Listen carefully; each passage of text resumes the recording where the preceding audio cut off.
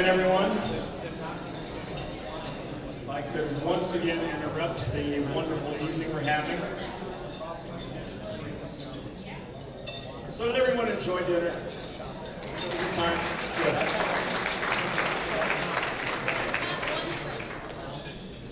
As we finish up dessert service, and before I introduce our keynote speaker, I want to take just a moment to acknowledge some other folks that are here with us this evening. This is as many of you know, this has become one of our signature programs, and one of the reasons it's so successful is because of the ongoing participation of a number of people in this room who have served as volunteers and leaders in helping us pave the way, not just for Winter College, but for other innovative and creative alumni programming. So I'd like to ask everyone in this room who has served as a member of the Alumni Association Board of Directors or is serving, or who has served or is serving as a member of the Foundation Board of Directors to please stand for a moment and be recognized.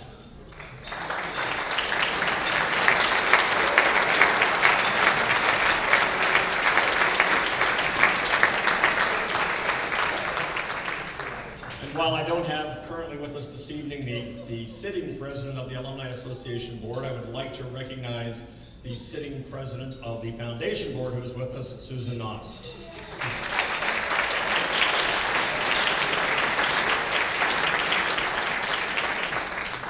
All right, so now on to the keynote event. We have something very, very special for you this evening. Those of you who have been with us for past winter college programs know that we have had an interesting array of speakers over the years. Uh, one of our former speakers is in the room this evening, Congressman Mike Oxley. Uh, Congressman. So we've had congressmen, we've had leaders of business and industry, we have had an ambassador from Luxembourg to China. We had last year the vice president of sports for NBC.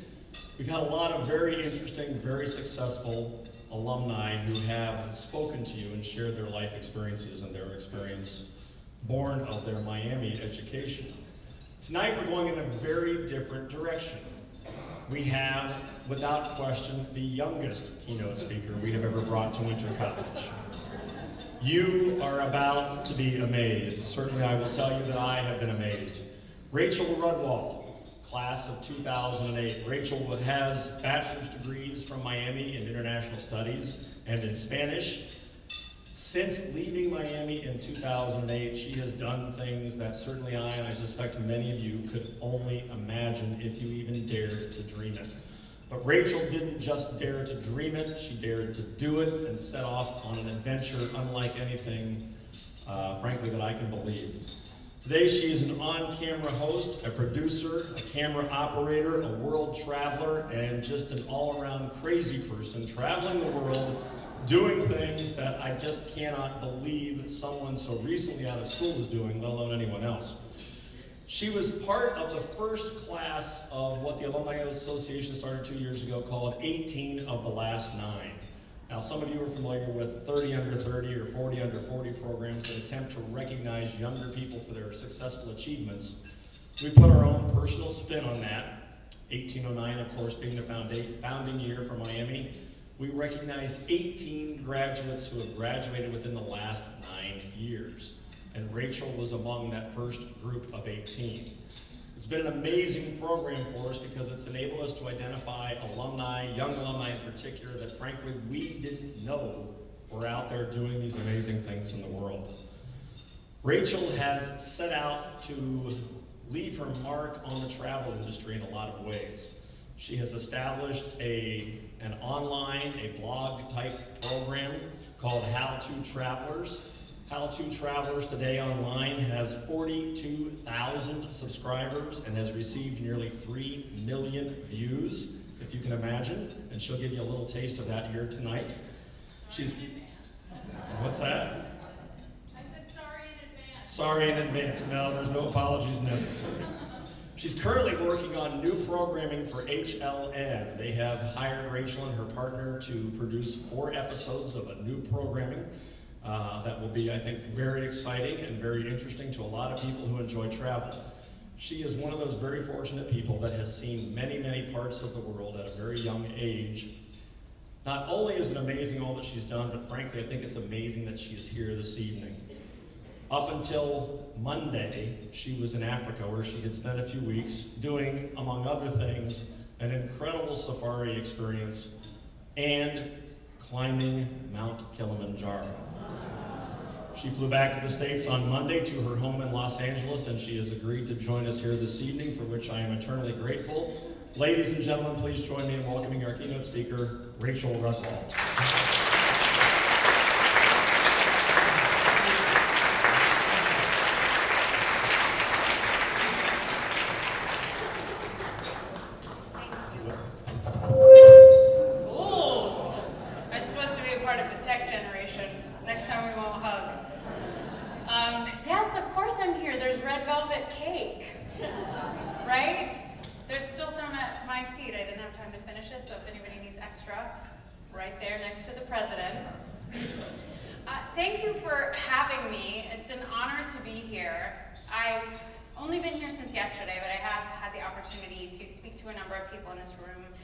about the effect that Miami has had on their lives and on their communities and their families' lives. My dad, my uncle, a number of people in my family went to Miami University. I'm sorry, there's dated my Uncle Tom. really, though. Sorry. I just learned that tonight. You know, well, we're all learning here. That's why we're here. I've also learned about the amazing effect that Miami has had on a number of women at my own table this evening. People who, when they were the same age as I am, were not told necessarily that they could study in college. People who were not raised with the assumption that it was okay to get an education as a woman. And also people who championed the opportunities for women to study at college. People who came from generations of women before them who'd studied well beyond uh, their time. So just in the short time that I've been here, I've had a chance to communicate with people and feel how strong the bond is with the Miami community that extends obviously far beyond my generation and into each of your lives as well. And I just really appreciate being here. So um, what I'd like to do, thank you so much, Ray, for the warm welcome. Um, first off, How's Charleston? It's colder than you imagined, right? I know, me too. Yeah, well, um, all I know is at least we're not snowed in. I imagine there are some snowbirds here from Florida who are like, yeah, they came here for a warm vacation. But the rest of us are like, well, I can handle 45. It's fine. So, as Ray mentioned, my name is Rachel Rudwall. I am a part of the class of 2008. So before you scoff at how recently that was, it was pretty recently, I would like to communicate to you how much is possible in a relatively short span of time with a Miami education. Um, Ray already mentioned this, so I, I was just in Africa, and I flew all the way across the world to climb a mountain and to see the big game animals and to experience as much of the world as I could. Part of that was for my honeymoon, so we were like, what's really sexy for a honeymoon? Sleeping in a tent for eight days, not bathing, work for you? So that's what we did. and then uh, we went and looked at some rhinos and some lions and a leopard that had dragged an antelope into a tree for lunch, and it was all very exciting. And then I continued on into Zambia and Zimbabwe to film for my travel series. As Ray mentioned, it's called How To Travelers. Um, the amazing thing is, I grew up in Dayton, Ohio. Right? Represent. Who's from Dayton? Lot of people, probably. So it seems like a far cry, probably, from the cobbled streets of Oxford, Ohio, where there are all of, say, 35,000 people, maybe 16,000 in the Miami community. But it's not that far off. When I was growing up in Dayton, I didn't know how big and incredible the world was. I was lucky enough to have parents that had books about world history in the house, sure, but we went to Michigan for family vacations, ate bear claw donuts, like that's, that's as wild as it got. bear claw donuts are good, don't get me wrong. So when I entered Miami, I knew that what I wanted to do was know the world. As soon as I got to Miami, I enrolled in international studies and Spanish language degrees. I also elected to use all my electives to study as many foreign languages as I could. Don't ask me how many I speak, I've lost most of them. But knowing that there are so many countries and so many cultures, that, that was where I wanted to be.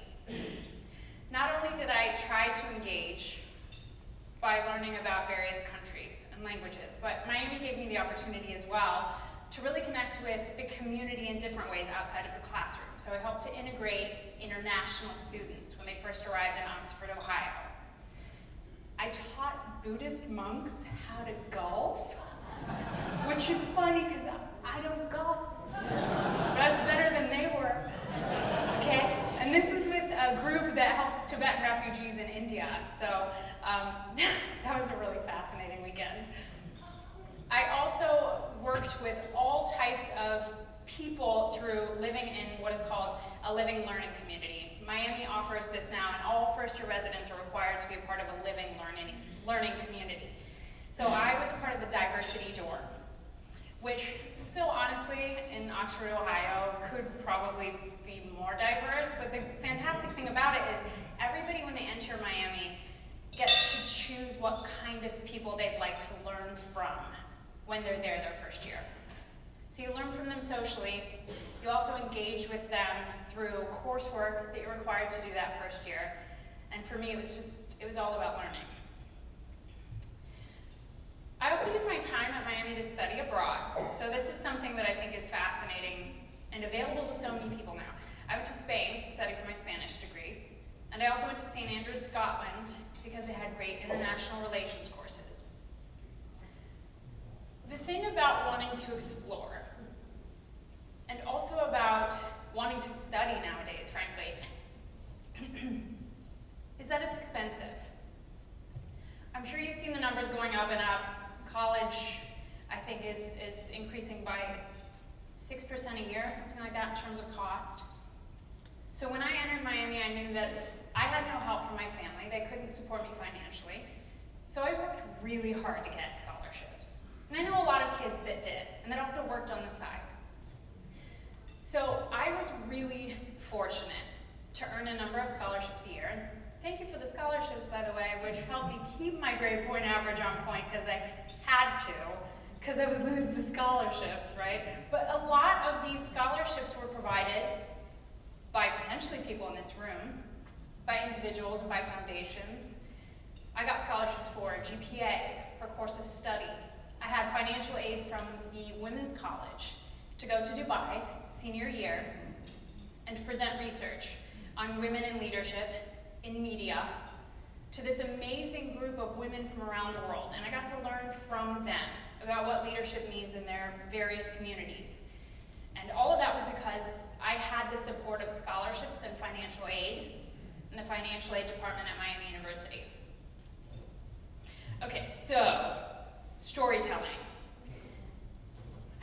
How do you get into storytelling if you grew up in Ohio? Like nobody, I mean, people work in TV, but not really work in TV. The, um, the craziest thing that probably happened to me in life was between junior and senior years of college. I was in Scotland, I was studying, I wanted to explore for a living. I didn't know what that meant. I thought maybe I'd be a diplomat. And thankfully, that's not where I ended up, because you have to wear pantsuits every day. it's horrible.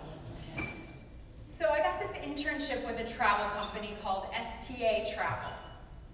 STA Travel was, at the time, the world's largest youth and student travel provider. They helped plan trips for millions of people a year. They were doing what they were calling their first ever world traveler internship which I, I still kind of pinch myself about. I'm like, this seems not like a real thing. But they were looking for somebody to travel to 15 countries over three months in the summertime to, quote, inspire others to travel. Which is not that hard to do. If you show somebody a picture of a palm tree, they're like, yeah, please, I'll be there. So they wanted somebody to do blogs, photography, and video. The incredible thing is there were a lot of people I think who were better qualified, who had studied journalism, communications. But because of my experience studying abroad a couple of times, I think the company was like, well, she won't die.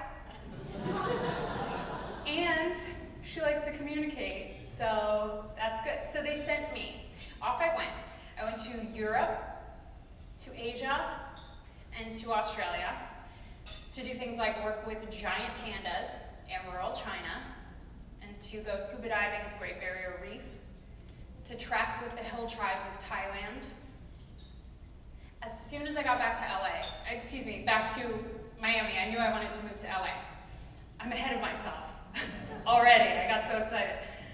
So I went back to Miami and I was like, I have to, I have to be a storyteller. I can't be a diplomat.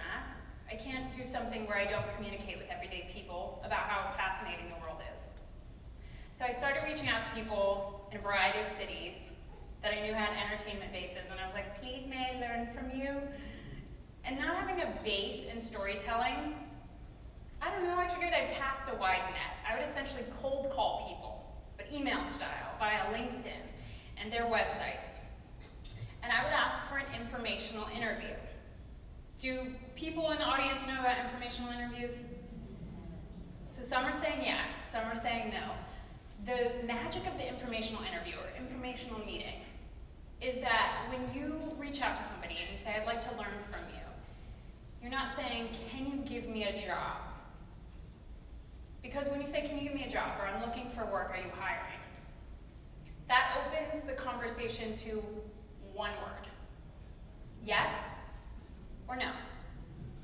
Somebody at Miami, and I don't know who this is, I owe them my eternal gratitude. Somebody told me about the informational meeting. Whoa. Sorry. Things are happening with my mic. So I reached out and I was like, can I learn from you? And probably to 100 people. I thought I'd hear back from 10. I think I heard back from 80, 85. And not only did I learn from these people, they were so gracious. They shared their wisdom that they had gathered over the course of an entire career. Then those people ended up being my friends, my colleagues, my mentors. A person who ended up really coloring my path and having a giant effect on where I am today is named Jeff Conroy. Jeff Conroy is the president of a TV production company in LA. And they produce a lot of manly man shows. So have any of you heard of Deadliest Catch? Or Ice Road Truckers? Or Ax Men? We got a couple hands. Okay, this is all stuff where there's like, what's that? Well, okay, so speaking of, these are all these men's shows, but I was the only woman who was up in the Arctic usually for three and a half months at a time. I was the only girl. Um, I had this great opportunity to help be a part of the storytelling on these shows because I emailed Jeff Conroy, cold call style, on LinkedIn, asking for an informational interview. But the thing that made this slightly different than the other times was he's a Miami alum. Right? How cool is that? He ended up being the first person that gave me a real chance in TV because he was willing to take the time to talk to me and teach me. He let me learn from him. And those opportunities to learn translated into my entire career as I know it. So then, what's really fascinating about being a part of the Miami community is then that led to producing shows about loggers, and pilots for National Geographic and Discovery Channel, History Channel. I even flew some of the planes, and I, I drove the 18-wheelers, the semi-trucks over ice, which you should not call the insurance companies about, because I'm pretty sure they didn't know. Yep, no, they didn't. I produced an educational travel series for students in Thailand. I've produced and hosted for Travel Channel, where I got to go paragliding with a hawk as my guide. It's a real thing, it's called parahawking. No joke. You strap in, you run off a cliff, my mom didn't love this idea. And then the falcon guides you to the best thermals. And then it'll circle back, it'll eat like little pieces of rabbit off your glove and then fly with the wind again. That was a work moment for me, which is magnificent.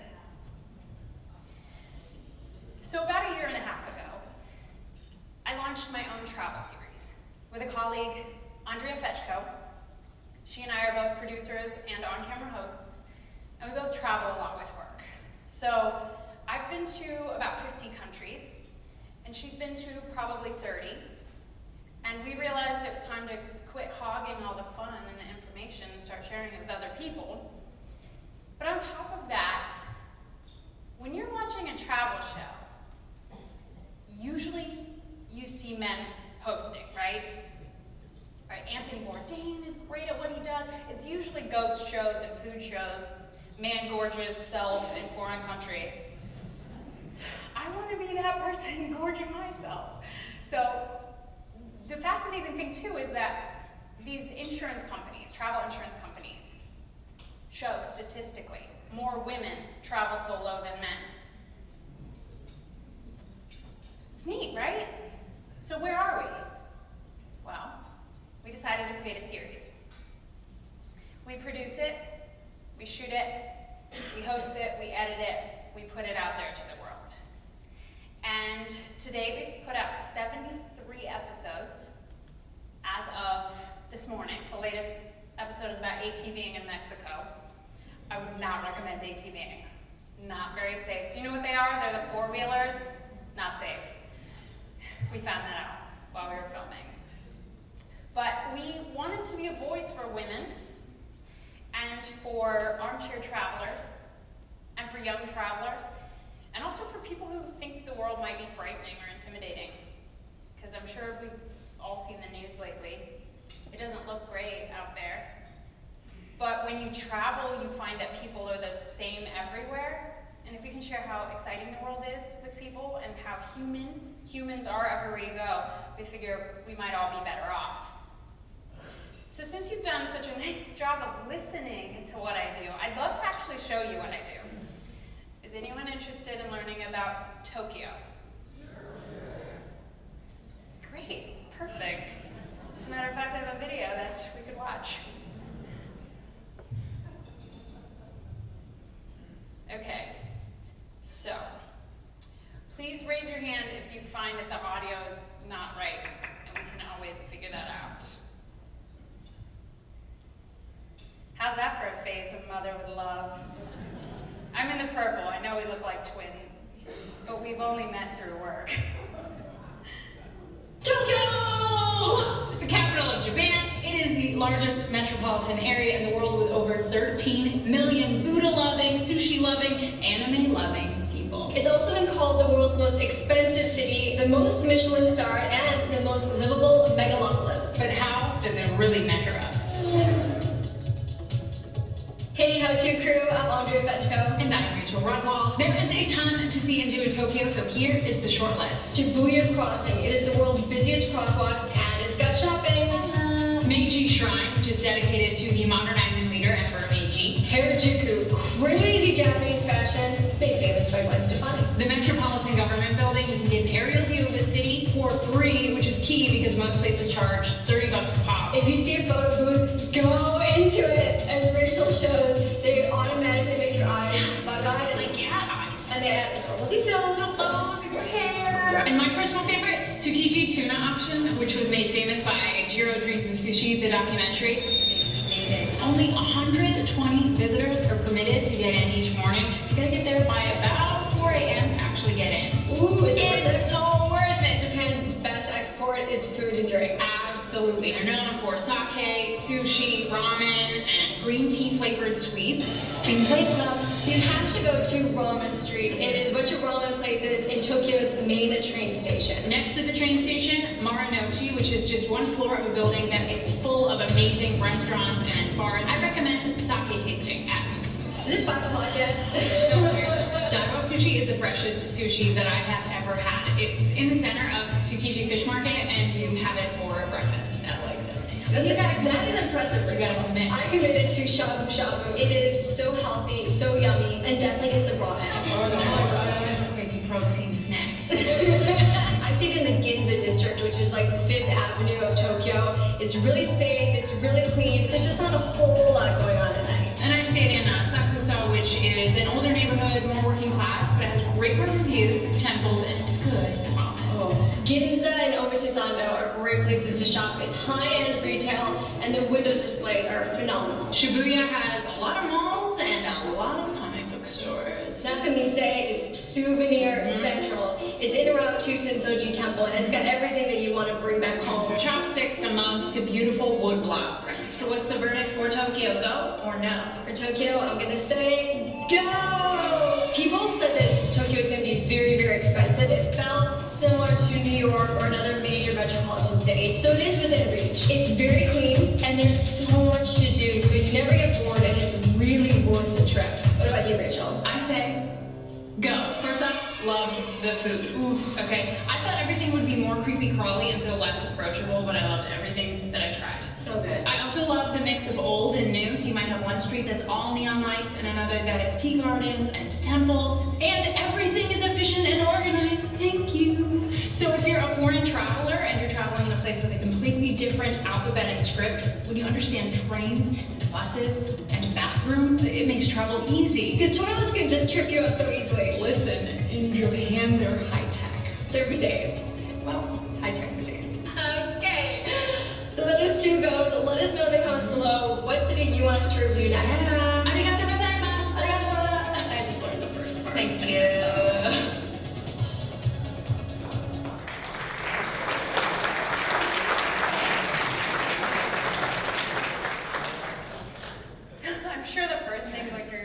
Why is it so fast? But that's what people are asking for now, at least as far as digital content goes. So what you might have noticed is that's something where at the end we say go or no to a destination. We call that go or no. We have uh, one episode per month that is dedicated to a guide to and a review of a given city. So we've done Buenos Aires and San Juan, we're doing Paris and Park City, we've been all over the place, and we only do places that we've both been. For the record, I tend to say go. I think the world's pretty cool. Andrea's kind of picky, but people get really riled up when they watch these for obvious reasons. It might be their hometown, and they're like, what? Someone said no. But we end up learning a lot from our viewers because we open it up to comments. People can leave comments on the video. This particular one has about 200,000 views. So people really end up learning a lot from digital content like this. And it, it's interesting, we would use a word in entertainment called evergreen. It is evergreen content. As long as YouTube exists, people can keep learning about Tokyo and hopefully teaching us along the way. We also, over the course of a month, so we'll release one episode per week, we'll release a travel tip. One travel tip might be how to pack more efficiently. Anyone know anything about packing efficiently? Do you have a, a trick? Someone said rolling? Who said it? You're hired. You're gonna be on the team. Army style rolling your clothes saves so much space. So once a month we have a travel tip like that, or where to sit on an airplane. Once a month we have a food or drink video from around the world. Once a month we have a bucket list adventure. So a good example of that could be climbing Kilimanjaro. It could be parahawking. Flying a jetpack is not the future, it's now. We've done that. That's a bucket list adventure episode. Due to our large audience of about 175,000 people who subscribe regularly to what we put out, we have been picked up, as Ray mentioned, by HLN to host a new travel show. So later this year, you happen to get HLN, which is a subsidiary of CNN, look out for Vacation Chasers. We're going to be helping people plan their dream trips, which is really cool because we get to expose people to the world. And that's why I set out to do this in the first place. In the case of that show, and all the work that I aim to do, my goal is to teach and to empower people. The world's a fascinating place, I think. That's green, not really. It just changed to blue. I'm sorry, I might lull you to sleep. But you're all here because you know the world is fascinating. You're here to learn about it. Our world is comprised of 200 plus nations. And I just learned this recently over 6,500 spoken languages. Did you know that? 6,500? I mean, I'm pretty good at English, I'm getting the hang of it, but 6,500 is a lot. And that means that there are innumerable human beings and beliefs and cultures to get to know as well. And I know I'm not the first person to posit the idea that we're better when we're connected and when we open ourselves to one another. So just last week I was in Zambia, and I had the opportunity to speak at an international school to students between ages 11 and 17. This school, because it's international, offers an incredible mix of cultures. So there were kids who'd grown up in Zambia, but whose parents were Jamaican and Chicagoan. yes. There were people who lived in five or six countries, but their parents were in the foreign service. Still others who grew up in Delhi and London and recently moved to Lusaka, the capital, with their families. But for all the fascinating backgrounds, there was still this notable lack of imagination and self-belief in terms of what was available to the students for career paths. And I think that's probably normal. That probably happens in school systems in US as well. That's why I was invited to speak there. I'm not a doctor. I'm not an engineer. I'm really not a business person. Those are all amazing careers, obviously, those are the only ones that some kids know about. I was there to tell them that they can dream about the thing that they want to dream about, that that's okay. And beyond okay, it can be real. And the magical thing is, somebody told me that. Somebody's. A lot of people told me it was okay to believe in something crazy, to believe in this aspiration that I could travel the world and get paid for it, that I could teach people about our planet, that I could work in TV. It took parents and friends and educators to tell me it was okay. And more than okay, they told me I was enough, right, for whatever I wanted. I was enough. I just had to work hard.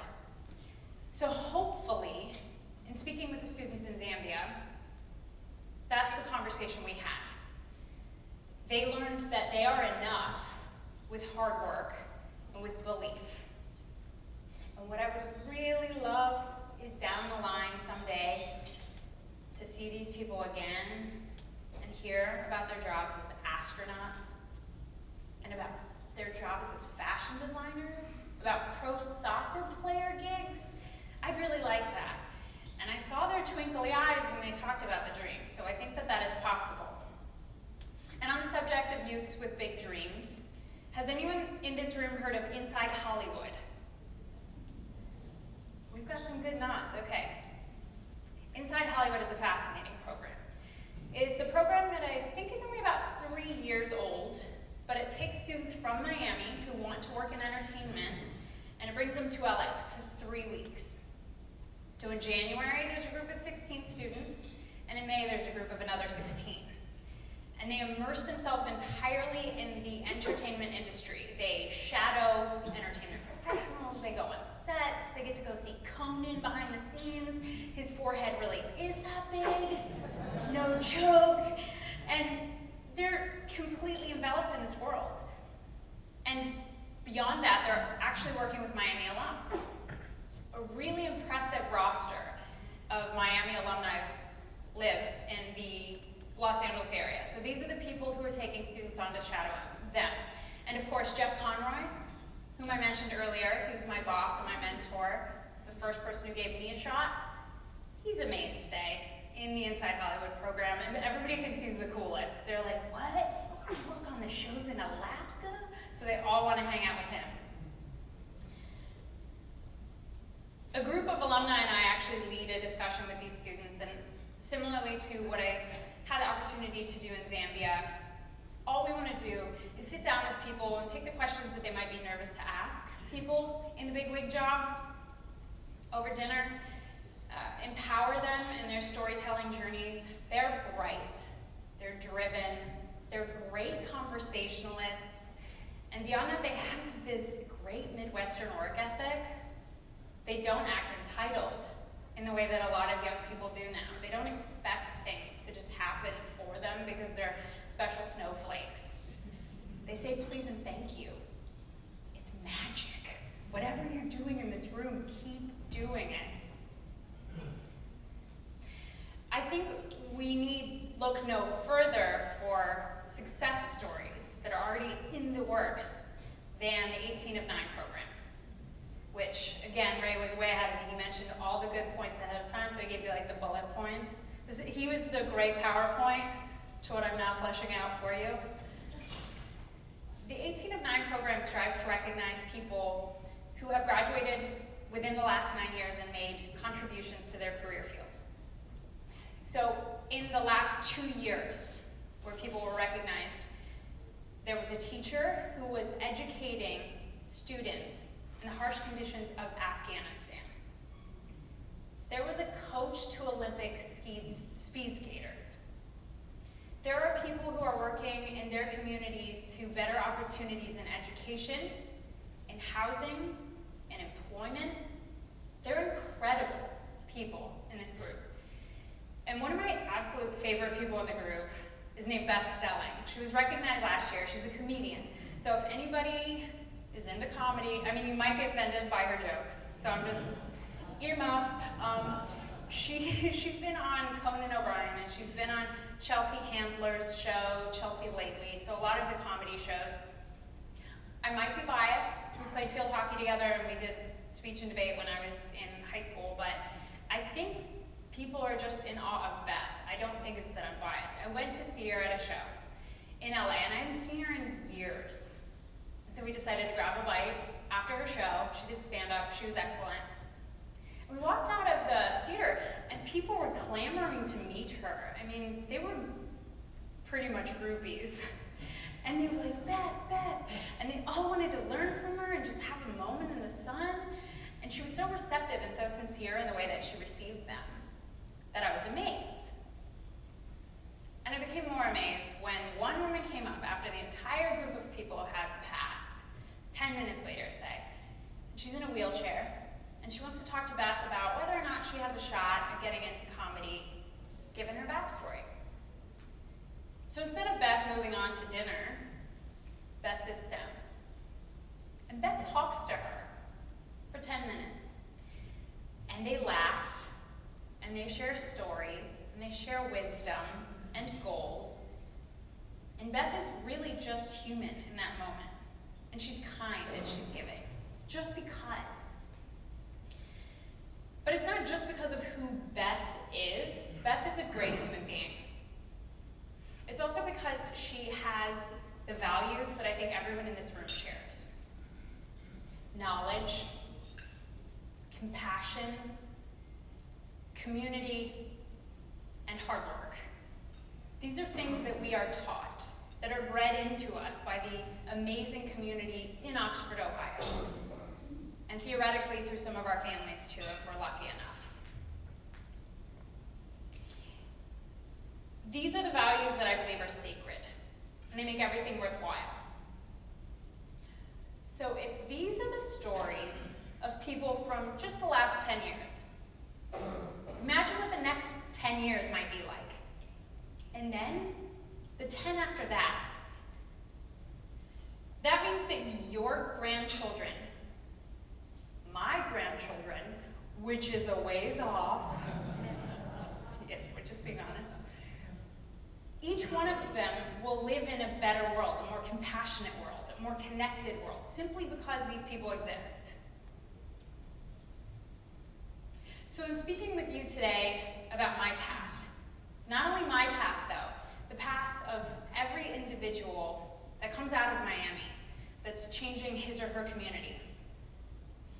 I hope that you felt at least a little bit encouraged about what we young folks are up to these days. Even if some of us spend too much time on Facebook. My Nana does too though, so don't hate, okay? I hope you also continue to feel connected to the value that a Miami education holds. And before we leave, I'd like to pose a couple of questions. These questions are to all of you, and I'm going to ask them of myself as well.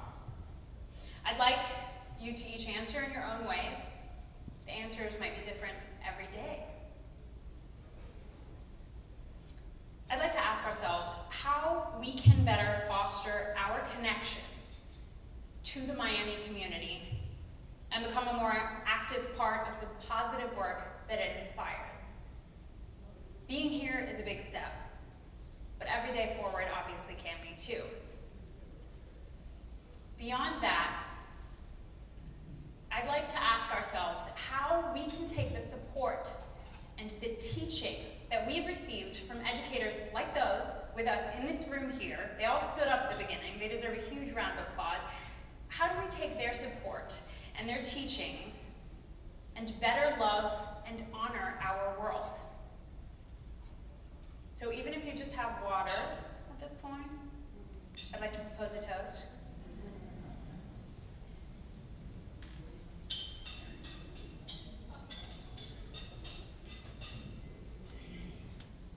to love and honor, the Miami way. Thank you.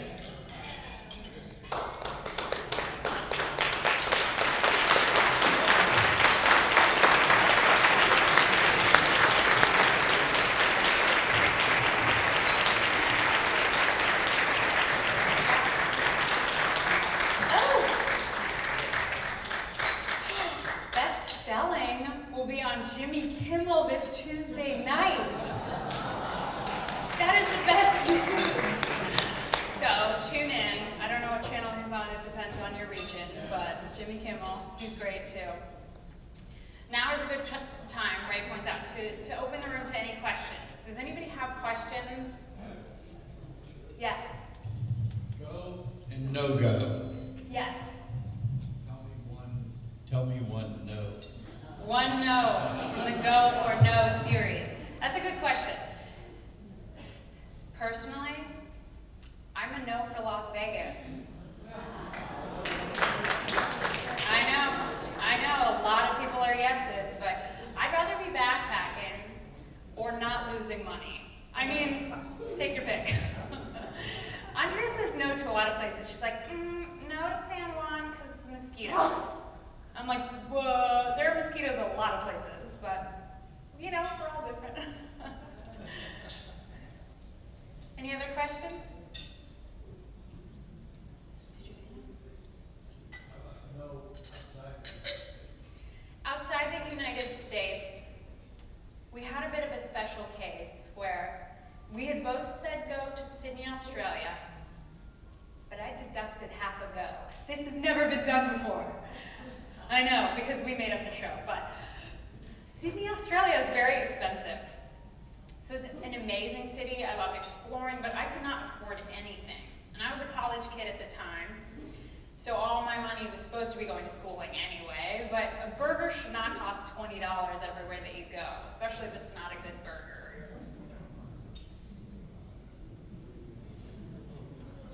Any other questions? What's that? What are some of the yeses? Yeses. Napa Valley. Yes to New York. Yes to Buenos Aires. I said yes to San Juan. Yes to Siem Reap and Angkor Wat area in Cambodia. Yes to Tokyo, as you saw. Um, I would say yes to Paris. And we plan on having a number of other episodes coming out in the following months. But I will say yes to Park City. Park City is a great town. Uh, we should have some, some shoots as well with clients like Viking River Cruises and Visit France. So we'll have an opportunity to expose people to new destinations and figure out for ourselves whether to go or new destinations along the way, like Bucharest, Romania. Uh, Budapest and, and Prague, I would say go, but Andrea hasn't been yet. So we'll see what she says. Yes? What's your plan for ten years from now? My plan for 10 years from now. This is a great question. My mom's been asking the same thing. My plan for 10 years from now is to continue to share the world's stories. for a woman who's an on-camera host. The sad thing is there isn't a long shelf life. Everybody knows that, unless you're Paula Deen and you're supposed to be cooking like home cooking, right? We can look how you look when you home cook. That wasn't supposed to rhyme, but it just happened. There isn't the same opportunity for women to continue to be trusted as experts beyond the point of when people think that they look a certain way. What I'd really like is to establish myself as somebody who knows enough that people continue to listen. And I'd really like to be so connected with my audience, which Andrea and I are now, are very connected with our audience. I'd like to be connected enough that as I grow older, they grow older, and we continue to believe in one another, and they still like learning about the world from me. That's what I'd really like. You, uh, been on the Orient Express? I have not been on the Orient Express, but if you have any connections, let me know. no, I'd love to go. I also want to do Trans-Siberian Railroad. That would be nice. Yes, Given your background in Spanish, yes. Cuba on your list? Given my background in Spanish, is Cuba on my list? If I didn't have a background in Spanish, Cuba would be on my list. Because I have a background in Spanish, Cuba is so on my list. I'd really like to get there before it opens up all the way and the injection of foreign currency really changes the whole landscape. That's what I'd like, to see it when there's still cars from the 50s, old beaters, and the peeling paint. Yeah. Any more questions? Yes. Where haven't I been that I'm really looking forward to? Nepal has been at the top of my list for a long time. I'd really like to go there and do some trekking in the Annapurna circuit. I'd like to go to Burma or Myanmar. I'd like to go to Bhutan. What's cool about Bhutan is it's this tiny little mountain kingdom in the middle of Asia. And instead of measuring GDP or GNP, they measure what they call gross national happiness. yep.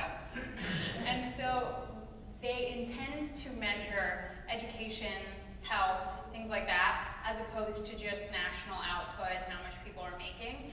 And all in all, people are said to be pretty happy and healthy. It's also quite expensive to get in there, and your visas per day cost a lot, so that's probably later in life for me I've saved up. Yeah. Yes? She said I seem fearless. Thank you. And she also asked, is there anything I'm afraid of? The truth is I'm scared of a lot, but it's what I do with it. Anybody in this room would know that there are lots of scenarios where you're scared. I was scared walking onto this stage. I could have said no, but you'd have to be crazy, right? To not connect with this room of people, that would have been a crazy answer for me to say no. So I'm afraid of a lot. But the question that I have to ask myself every time that I'm facing fear is, what do I do with that fear? How do I listen to that fear and harness it and make it something good?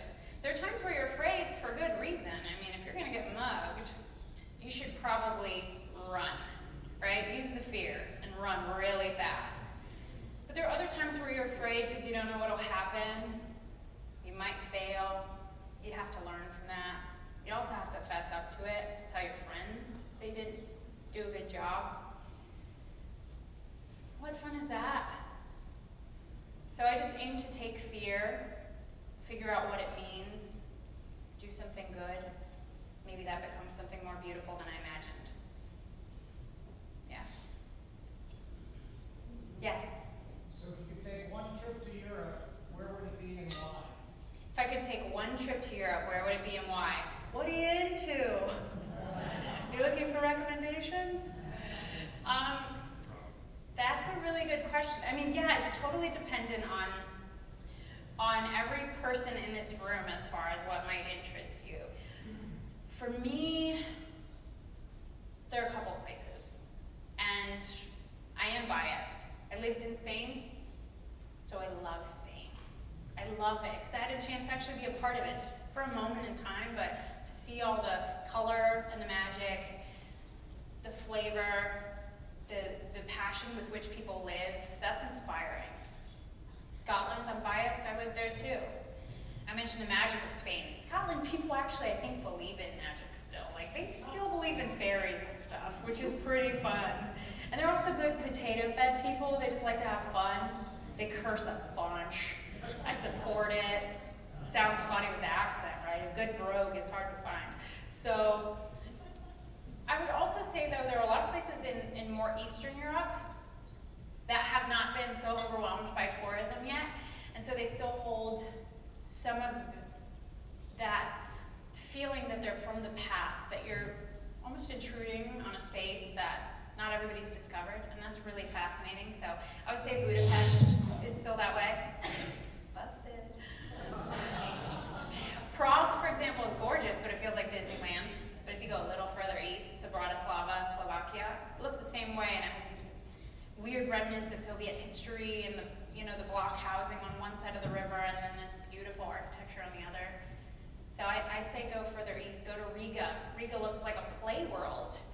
Iceland's magic too. So pretty much everywhere. Just look at a map and then maybe all of it would be good. One more question? One more question. That was an enthusiastic hand. If you could give one piece of advice to someone who follows you out of Miami, Yes. has so spectacularly created a career that did not exist, what would it be? If I had one piece of advice to give to a student coming out of Miami University, it would be go with gut, back it up with logic. Yeah, because if you feel it so deeply in every inch of yourself that you can't explain it, there's something there. But if you can actually build a course of action and not alienate everyone you know, I mean, if it's like your gut's telling you something super weird and you can't back it up with logic, don't do it. But yeah, if you can go like, actually, if I took a couple steps toward the thing that scares me more than anything that I want and can't describe how I how badly I want it and why I want it. Do that. Yeah.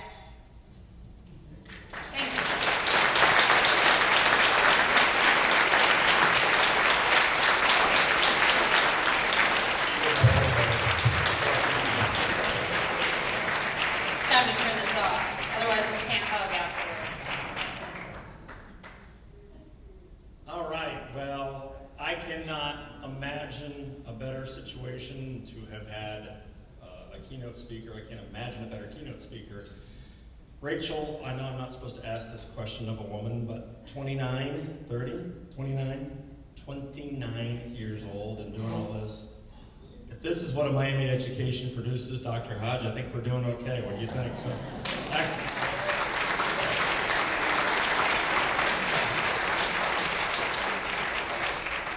So, just a couple of announcements to close the evening. Trust you've had a good experience so far. It's just the beginning. We have a full day of coursework ahead of us tomorrow. Breakfast will be available tomorrow morning beginning at 7 in the Charleston Grill. It'll be available for our group from 7 to just a little bit before 8 o'clock. And then classes begin at 8 o'clock in the morning. So all of the information you need should be in your program. If you have any questions, there are a number of staff here. We'd be happy to answer those questions. Thank you for being here. Thank you for being part of this experience. And I encourage you to continue to ask questions, to be engaged with, each- with each other, to learn more, and to strike out on adventures like Rachel has talked about tonight. Good night, everyone.